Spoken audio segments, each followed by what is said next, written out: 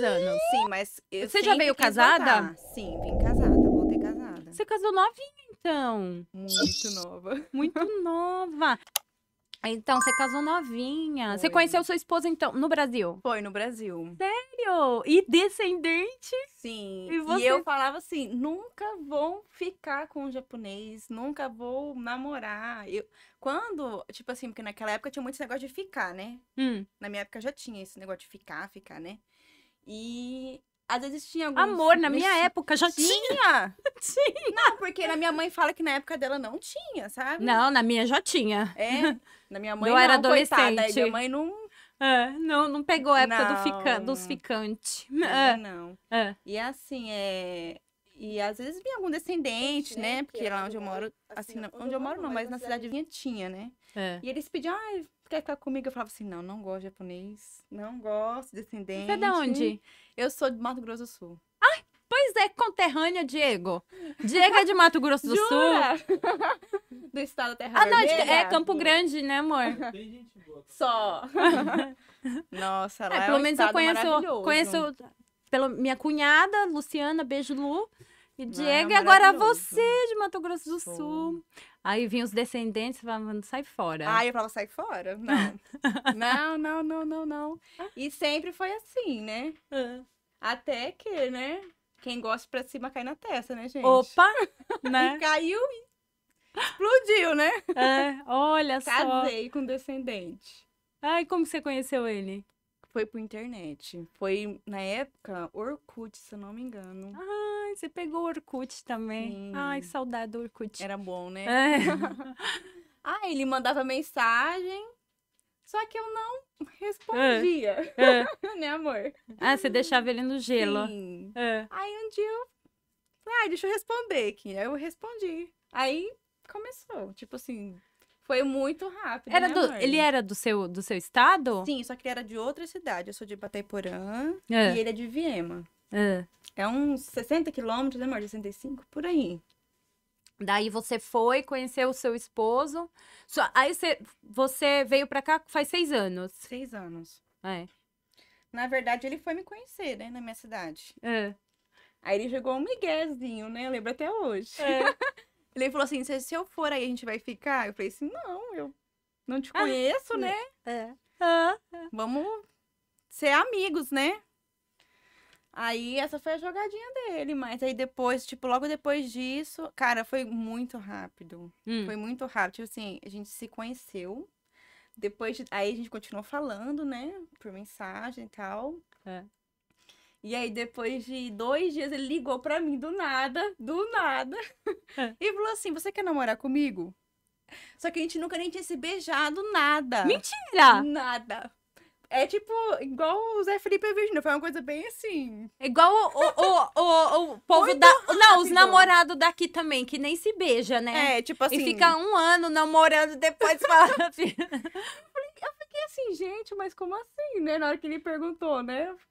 Porque a gente é primeiro acostumada, né? Primeiro a gente fica, né? Vê como que vai ser, né? É. Aí depois vê se realmente, né, vai dar certo o namoro, né? Ele não, já falou, ó.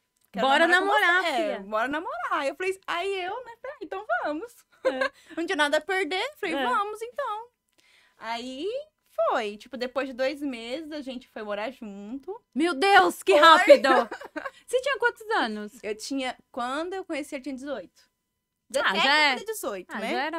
E foi seu primeiro namorado? Não, não. Ah. Eu, tinha, eu tive dois namorados. Que eu namorei assim mesmo, né? É.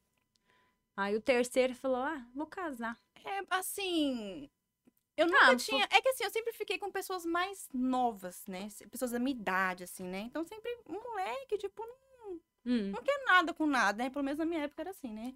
acho, que, acho que piorou. É, então. E Agora. aí, tipo assim, apareceu uma pessoa diferente, tipo assim, uma pessoa mais cabeça, né? E eu É. falei, ah, por que não? Né? É uma experiência diferente pra mim. Eu fui. estamos aí, 10 anos casados. Dez anos já. 10 anos casados, não, 10 anos juntos, né, amor? Dez anos. É, juntos. Ai. Casados deve ter um oito. Mas assim, depois de dois meses a gente foi morar junto. Eu fui morar junto, né? Fui, fui pra cidade dele, porque lá tinha mais trabalho, né? É, a minha cidade é bem pequenininha, é 10 mil habitantes, acho que É? deve ser até Nossa, menos bem hoje. pequena, Isso. bem então a pequena. cidade dele tinha mais opção, né, É. pra mim, né? Acabei indo pra lá Aí depois de dois meses estando lá, eu já engravidei. Foi bem assim. Menina, que rápido, tudo, tudo, tudo, acelerado. E tamo junto até hoje. Ai, vocês, É, vocês são bem acho- amigos? Oi? Vocês são bem amigos, assim? Somos. Somos amigos, brigamos bastante também. Acho que é normal, Ah, né? Todo casal. normal.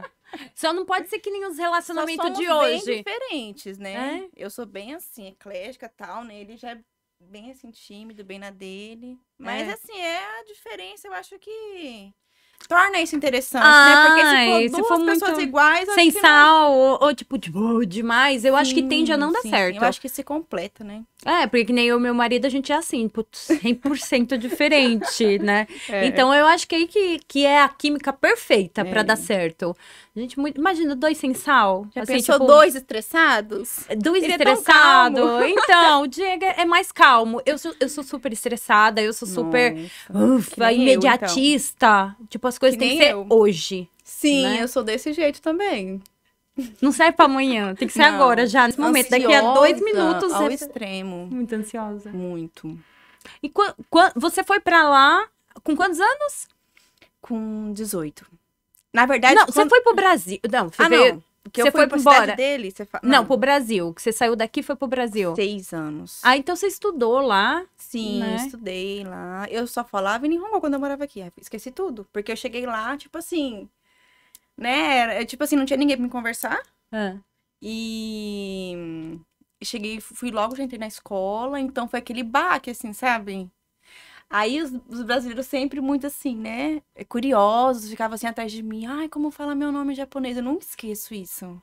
E eu não sabia falar direito, eu não sabia ler nada. Então foi aquele baque, assim, sabe? Se não fosse uma professora que eu tive, a professora Sandra, nossa, ela que teve muita paciência comigo, eu só aprendi, foi por causa dela.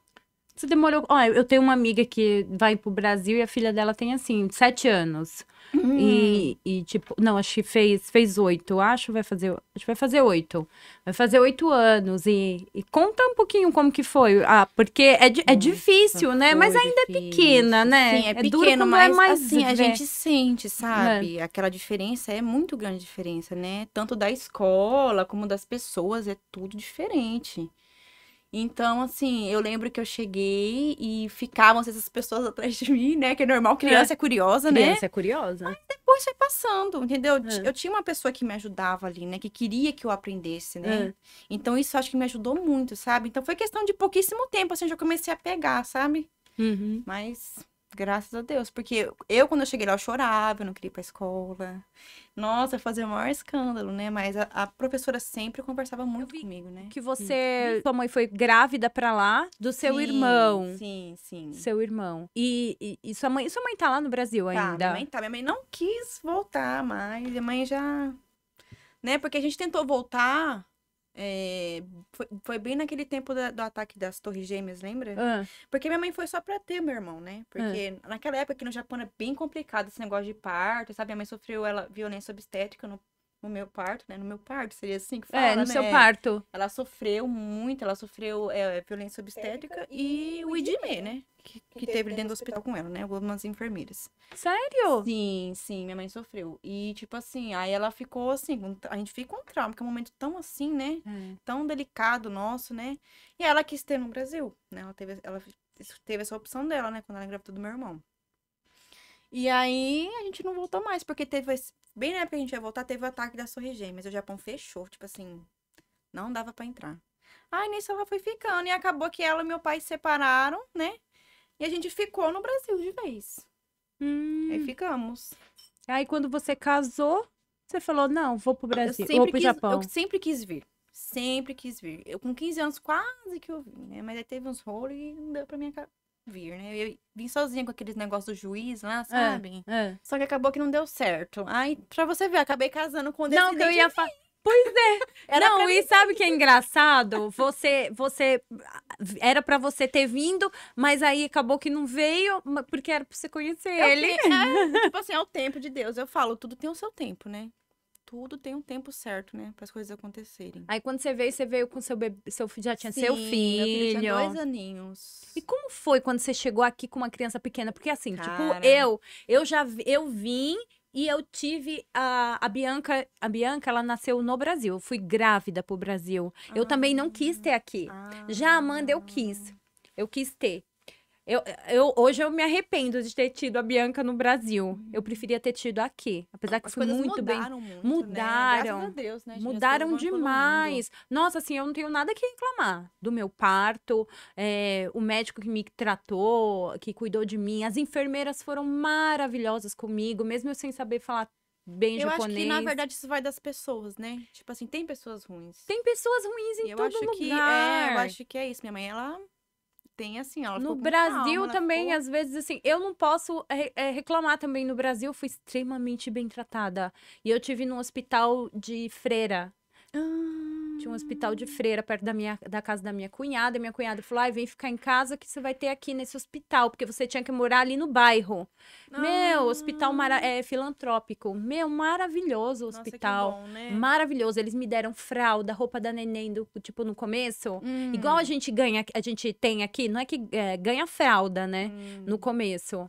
Você, é, assim, Eu nem- você não eu sabe. aqui como é que é. Não, é no começo, nos primeiros, assim, no primeiro dia, você ganha fralda, né? E a, a roupa do, do neném é do hospital. A mesma coisa no meu hospital. É Do, do hospital que eu ganhei, a, a Bianca. Já Amanda eu decidi ter aqui. Eu preferi trazer minha mãe. Ah, sua mãe veio, que bom, minha mãe né? veio, ficou três meses aqui. Ai, que delícia. Aí eu fiz, porque eu sou 100% brasileira, apesar de ter essa cara de japonesa. Nossa, eu pensava que você era descendente. Muita gente pensa. Nossa! Esses meus pequenos olhos puxados não são. Não são. Eu sou Nossa. descendente. Eu, sou, eu não sou descendente. Descendente é o Diego. Aí eu tive que casar com ele para eu ficar aqui. Né? Pra Aí é uma história ver, longa, porque a né? minha vida não importa agora, é a da Bianca. Aí você veio, e aí você falou: não, eu vou, vou, vou pro Japão. Ah, na verdade, as coisas estavam bem difíceis pra gente no Brasil, sabe? Bem difíceis mesmo. É questão de E o que, que você fazia trabalho. lá? Olha,